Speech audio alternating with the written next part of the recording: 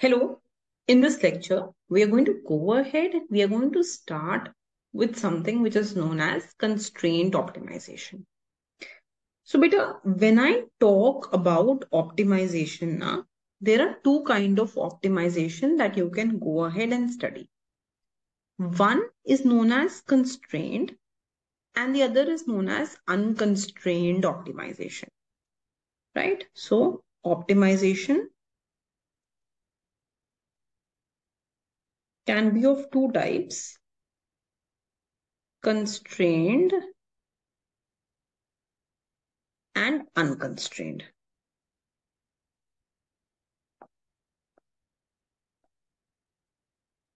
बेटा अनकंस्ट्रेन्ड ऑप्टिमाइजेशन क्या होती है जैसे हम अभी तक क्लास इलेवन ट्वेल्थ में पढ़ रहे थे the one that we were studying till till our eleventh और twelfth like I will just से maximize the area maximize your utility maximize the revenue maximize the profit uh, minimize the distance traveled take a beta so all these optimization theories that you were studying till now all of those were unconstrained optimization where in which case what happened beta you were given a function वो function one variable भी हो सकता था वो function two variable भी हो सकता था so you were gone ahead and you were given a function like for example let's say beta you were told that y is a function of x that's the first thing that you were told so if you were told y is a function of x, तो क्या करते थे हम? In that case, we would go ahead and say, okay, dy by dx equated to zero. This was called our first order condition. And d square y by dx square less than zero for maxima and greater than zero for minima. But this was our second order condition. So we were going ahead and we were finding the first and the second order condition for one variable and this was unconstrained, completely unconstrained. There was no constraint given here. And that's the first case that we were doing. Then beta, what, what's the next thing that we went ahead and do?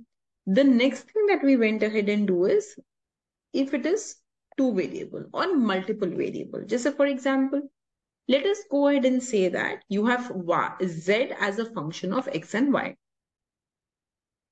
Right, beta. So I will go ahead and write z as a function of x and y. This is also a function, but there is no constraint in it. So again, you can go ahead and you can maximize such a function. So beta, you can maximize with respect to x, you can maximize with respect to y. So del z by del f, uh, del x equal to 0 kar do del z by del y equal to 0 kar do and then just formulate the second order conditions also. But this is again unconstrained. There is no constraint in it. कोई constraint नहीं लगाया है. Right? But now just take an example of constrained optimization. So when I talk about constrained op optimization, what do I mean? For example, I go ahead and I say maximize utility subject to the budget, subject to income level or I go ahead and say, okay, maximize revenue subject to uh, a given level of cost. Or I tell you maximize production subject to a given level of cost. Or I tell you minimize cost subject to a given level of output. So all these examples that we do now, all these examples, they are all constrained optimization. So constrained optimization का example क्या हो जाता है बेटा? when you want to minimize cost subject to producing a given level of output right or you when you want to maximize output subject to a given level of cost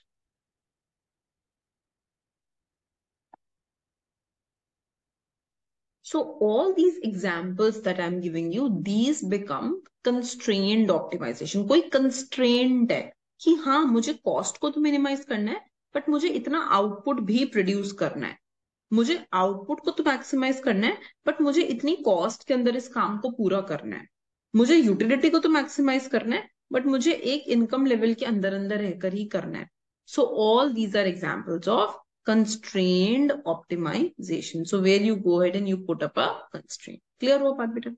So in constrained optimization now you have an objective function.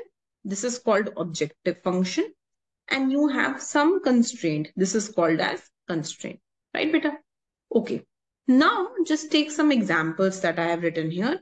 So I am maximizing the utility subject to my income level. So, so these are different commodities x1, x2 till xn. These are your different goods.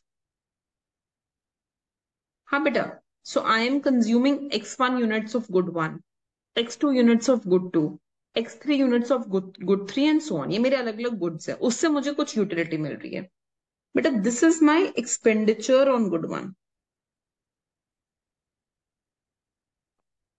Expenditure on good 2. Expenditure on good n. हाँ बेटा so these are my different expenditures that I have. So, bache, these are my total. If I just go ahead and I do it, you will notice that this is my total expenditure.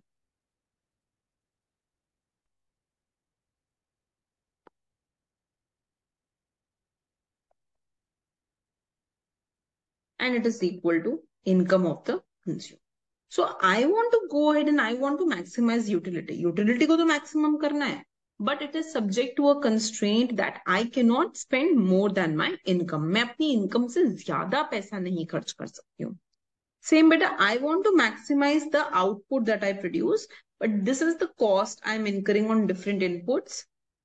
It is, it has to be within a cost. Yeah? So I want to minimize the cost, but it should be subject to a given level of the output. So ये जितने भी examples हैं, these are all examples of constrained optimization.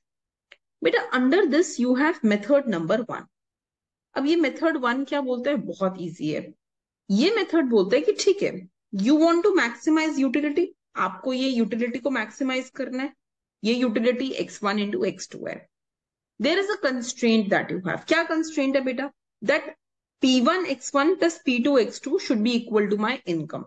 जितना खर्चा मैं good one पे कर रही हूँ प्लस जितना मैं गुड टू पे कर रही हूँ it should be equal to the income of the consumer तो बेटा मेथड वन ये बोलता है that you should convert constrained optimization problem to unconstrained problem माने इस कंस्ट्रेंड में से write one variable in terms of another.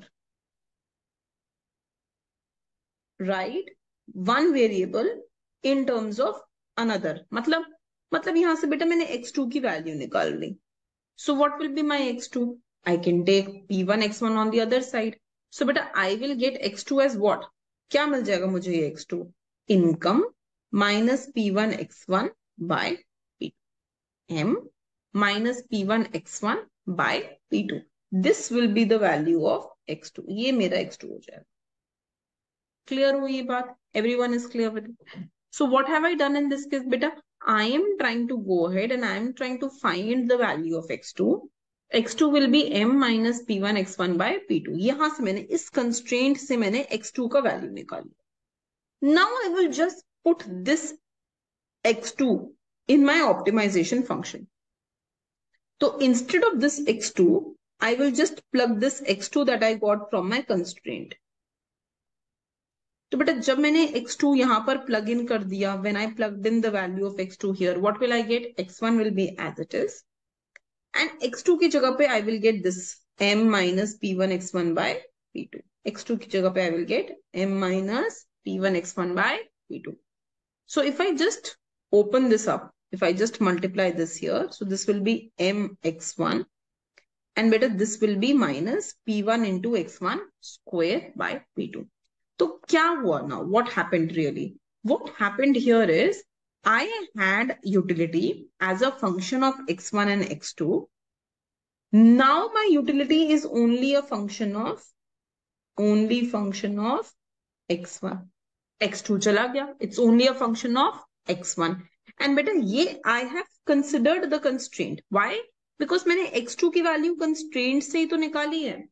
So the constraint is also considered so now happens in this case you get M X one minus P one X one square by P two ये आ गया. Now your utility is just a single variable function so how do we maximize utility differentiate this with respect to X one and equated to zero तो बेटा if I differentiate this with respect to X one what will I get differentiation of m x1 will be m differentiation of p1 x1 square will be 2 p1 x1 by p2 and just equate this to 0. So when you will equate this to 0, beta kya ho jayega? What will happen here? Very simple. You will go ahead and you will get p2 to 0 ho jayega. So m minus 2 p1 x1 will be 0. So m is equal to 2p1 x1. So beta x1 will be m by 2p1. Clear ho ye baat ekdam? So x1 will be m by 2p1. So beta now I have to refine x2. So if you remember, from the constraint, we had already found out the value of x2. And constraint x2 was what? This na? m minus p1 x1 by p2. So I know that from constraint x2 was m minus p1 x1 by p2 तो बेटा x1 star तो मैंने निकाल लिया है that x1 which maximizes my utility that I have found out I can just put this x1 here so beta instead of x1 I can write this m by 2 p1 and I will see that p1 and p1 will cancel out so what will I get? m minus m by 2 by p2. So beta 2m minus m by 2 p2. So beta m by 2 p2. तो क्या answer आ जाएगा what will I get I will get the edge m by 2p2 clear हो गई ये बात एकदम so this is going to be the first part where what are you doing क्या किया हमने हमने कंस्ट्रेंट से from the constraint we are going ahead and we are finding the value of x2 in form of x1 and we are putting this in the objective function. So now my objective function becomes a single variable function and I am just solving that usually जैसे हम हमेशा से करते थे but बेटा this is very tricky ये बात सही, ये सही नहीं है method why because if there are many variables ना तो ये बहुत ही कॉम्प्लिकेटेड हो जाता है. It becomes very complicated so what we should be doing is we will introduce something which is known as the method of Lagrange.